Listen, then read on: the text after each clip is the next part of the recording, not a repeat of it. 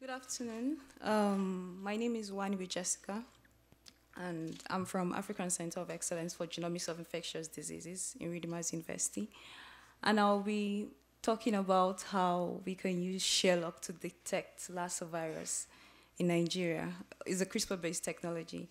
But before I move ahead to tell you how we use Sherlock in detection of Lassa virus, I'll briefly want to talk about um, genomic revolution in Nigeria, especially in the um, infectious diseases, and how our lab is in the forefront in this revolution. Since the Human Genome Project, we've seen a change in the way we approach healthcare and research. And this has helped in the way we diagnose different diseases, especially genetic diseases.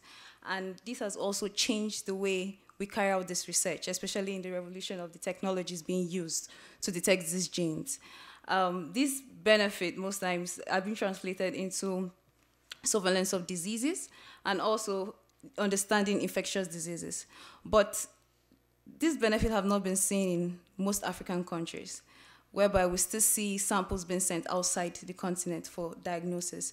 We still see African researchers interested in genomic research, leaving the continent, leaving the country for um, better opportunities outside there.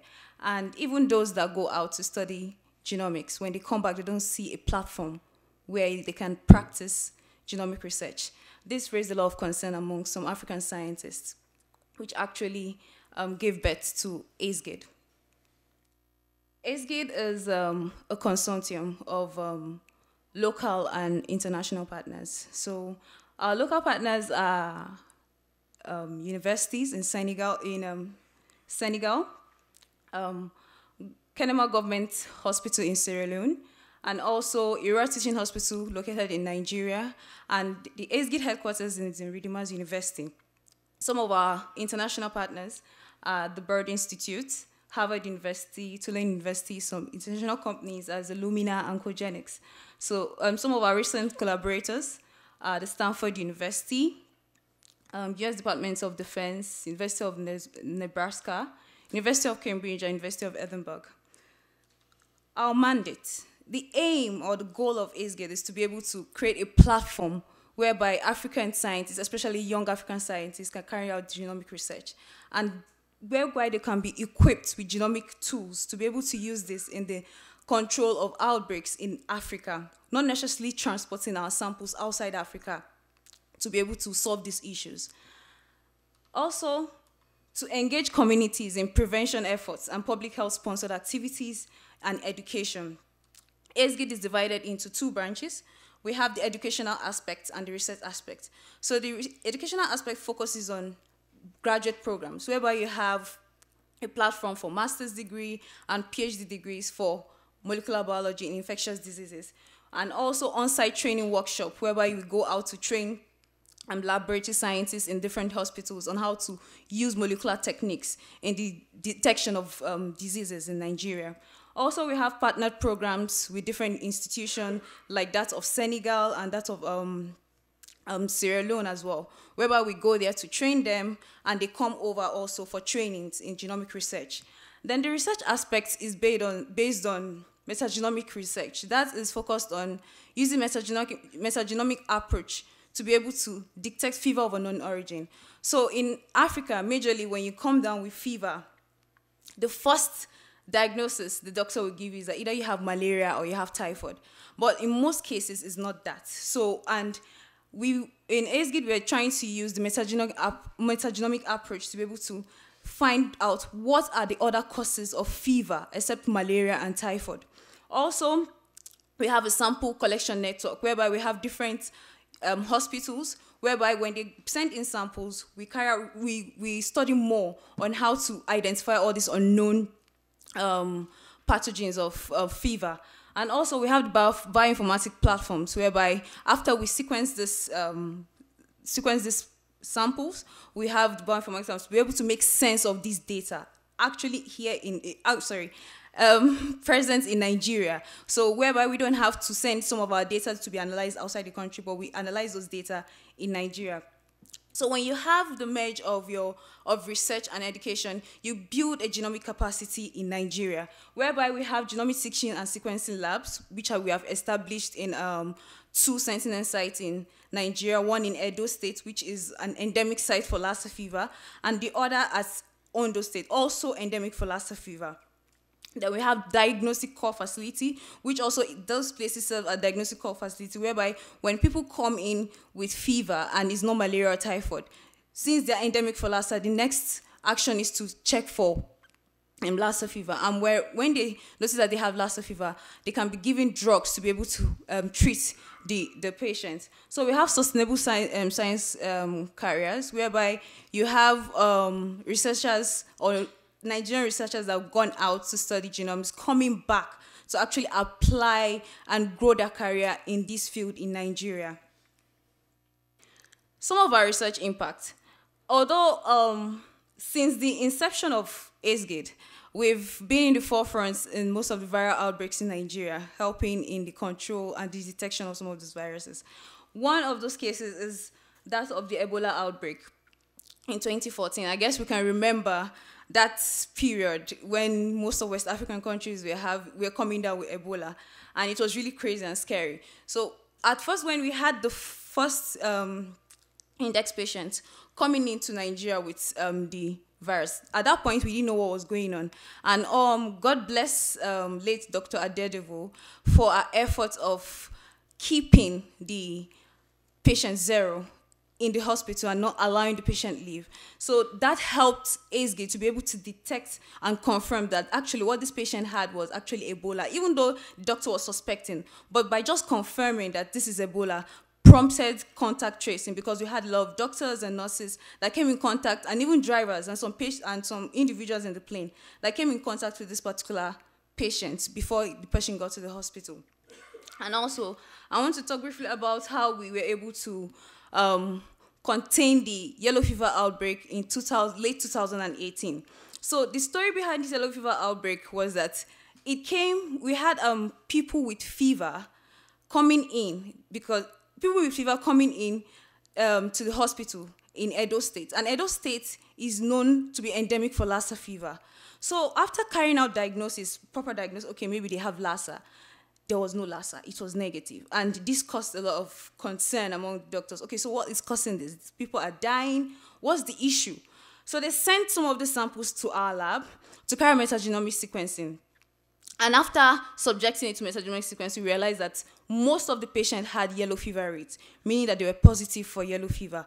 And this prompted the Nigerian Center for Disease Control to call an outbreak of yellow fever in Edo State and also creating the mass vaccination of people in Edo State. And this was done within four days, increasing the turnaround time. So imagine if we had to send these samples outside the country to actually detect if they had yellow fever or not. Would I have a lot of people dying because of yellow fever before we can even get the, um, the result? So also for Lassa fever virus, ACEGID has been in the forefront since 2013 in the surveillance and the detection of Lassa and the control also of Lassa fever virus in Nigeria. Lassa fever, before ACEGID came in, in Edo State, we had issues of people dying of Lassa. No cure, no um, infrastructure put in place to be able to detect these viruses on time. But since ACEGID came in, a, a proper structure has been put in place whereby you see people coming. We had, because then they had increased rates of technicians, doctors coming down and dying because of Lassa virus. But since the came we have the decreased rates of technicians and um, nurses dying of Lassa virus, and we've seen the prompt um, diagnosis of this um, Lassa virus. Because for Lassa virus, I guess most of us don't know, is a, is a hemorrhagic fever just like Ebola. It's just not as severe as Ebola. And it has um, a drug known as ribavirin. When taken early in the early in the infection, can treat that person from Lassa fever. So since the inception of ASG, this has been able to be implemented, whereby when patients come in and they are being diagnosed with Lassa early, they can take ribavirin and actually get well from Lassa um, fever, not necessarily dying from it. Although this is not always the case anyway, in most times, because before some of them get there, they might have the virus might have spread so much that even the ribavirin cannot work on them. But with all this, this raised a particular question, especially for Lassa fever diagnosis in Ira Teaching Hospital, which is our, our main site for Lassa fever research. We realized that most communities are far away from the hospital itself, and the time it would take for them to send samples or the patient to come down, it's by that time they would have, should I say, they would have died of the uh, disease, or it might be too late for them to actually take that particular ribavirin. And we realized that we're based on our paper that we published in 2018, the New England Journal paper. It talked about the, we realized an increase in the Lassa fever cases in 2018, not necessarily because of the virulence of the pathogen or anything, but because we realized that the awareness of Lassa fever virus, uh, Lassa fever in Edo State increased, prompting people to come to the clinic to receive treatment because they realized that if you come early, you can take ribavirin and you'll be, you'll be, you'll be cured. But we realized that for them to get to this place, it would take time. And the workload on the laboratory technicians, the nurses was too much. And this posed the question that how can we be able to reduce this workload? How can we solve this issue? How can we tackle this problem? What if we have a possibility whereby we can all take, we can all carry out Lassa fever diagnosis within these communities, not necessarily all of them coming to Ira Teaching Hospital, which brings us to the use of Sherlock. Sherlock, before I go into Sherlock in details, I just want to give us an overview of the whole process.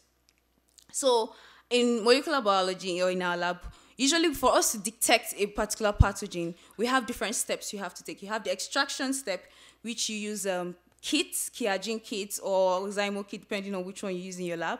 And you have the polymerase chain reaction step, whereby you have to amplify your DNA so that you'll be able to detect. Then you have your detection step, whereby you use the gel electrophoresis or you when you're using your qPCR, you can see the fluorescence or the art the CT on the screen.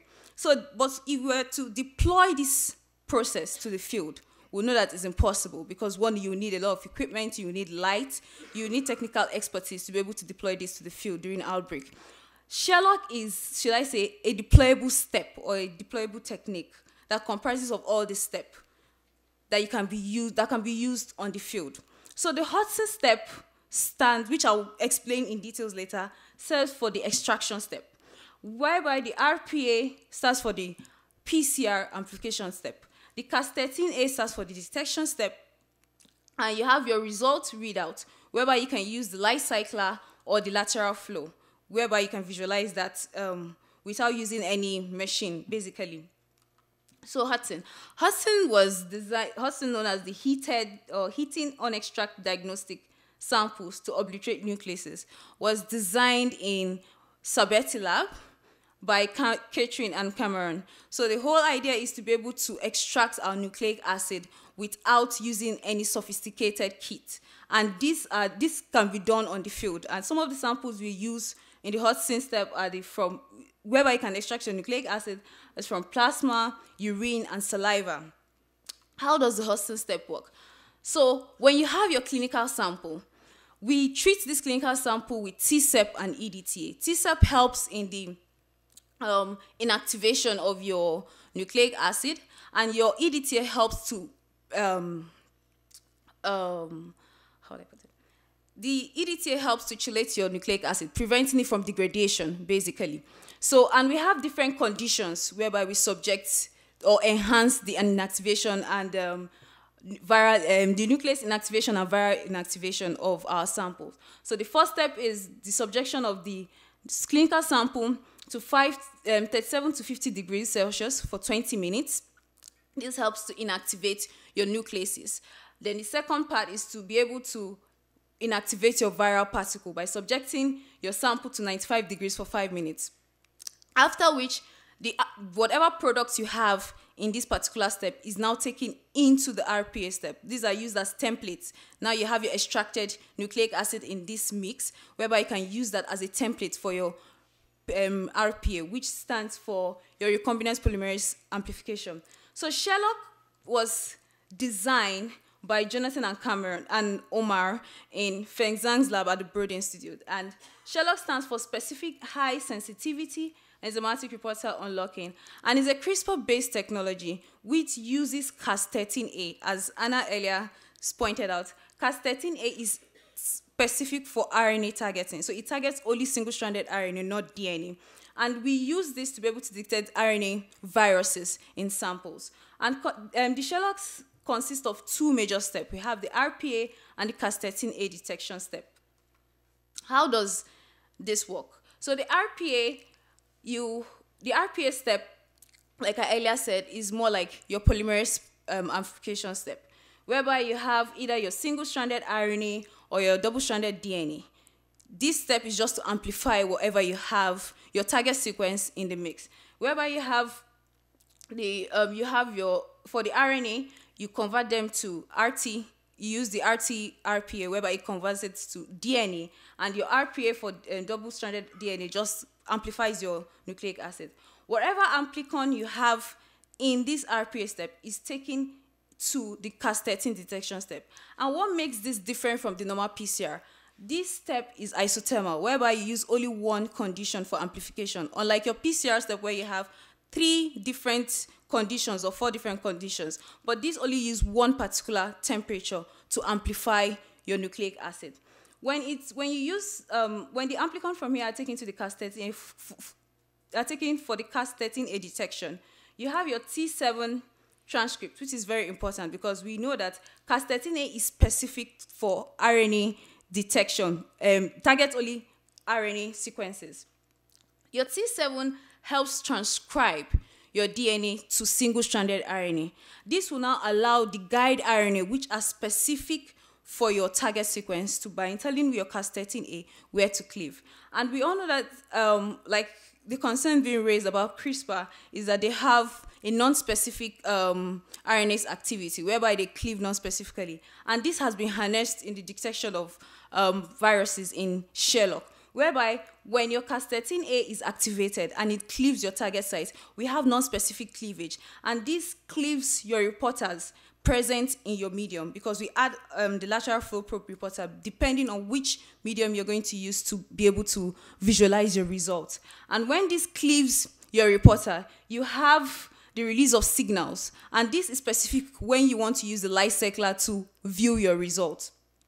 Now, how for the lateral flow readout, this is a different, um, different um, form of um, visualization of your results entirely whereby you have your reporter, which is made up of your FAM, dye, and your biotin, uh, your biotin, which are known as the uh, known as the lateral flow probe. So what happens is that during the Cas13 detection, when your Cas13 cleaves non-specifically, it cleaves your biotin and your FAM dye. When it cleaves your biotin, your biotin binds to the streptavidin line, whereas your um, FAM that binds to the uh, antibody capture line. But when you don't have a cleavage of this um, two complex, known as your, your lateral flow probe, you have only the biotin, which is still attached to the FAM dye, binding to the streptavidin dye. For you to be able to detect which is positive or negative, because this figure just shows basically an illustration of how it works. For your positive band, when it cleaves your biotin, you have your farm dye binding specifically to the antibody. You don't have any lights or any fluorescent being shown on the strip.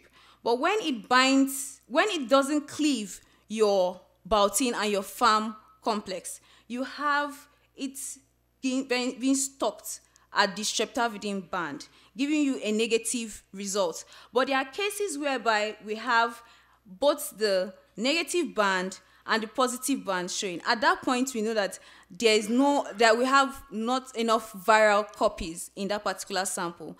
That way, we'll be able to say, okay, maybe the viral copies are not enough. That is why we don't have enough cleavage of your biotin and your FAM complex. That is when you can see a band on the negative side and a band on the positive side.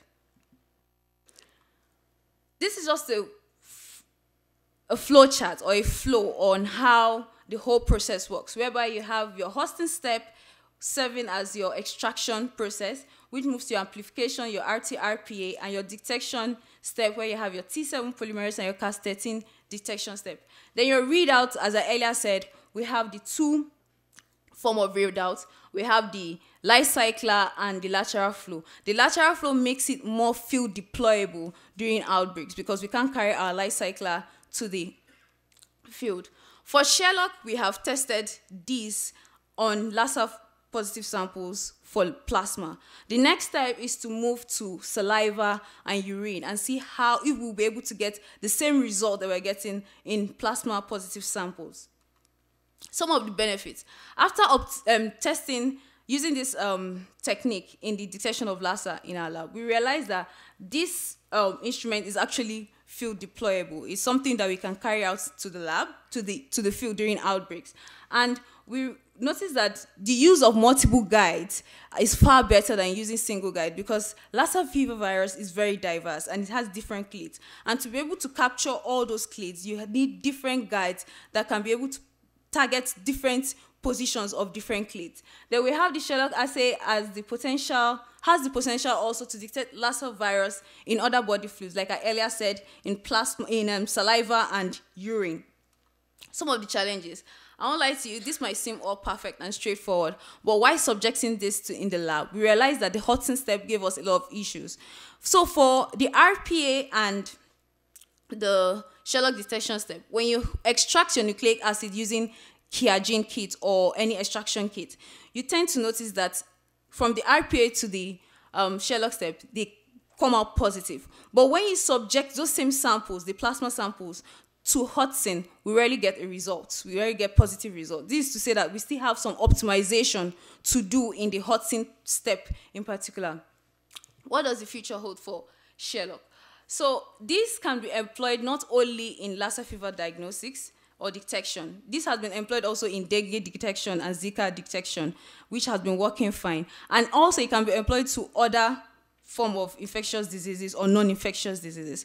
And we can also use this in monitoring multi-drug resistance, especially in our country whereby we have different, uh, we are having strains of multiple drug resistant bacteria. Also in the, whereby you can detect the transcript to enable better and faster control of um, diseases of multi-drug resistant spread in the country.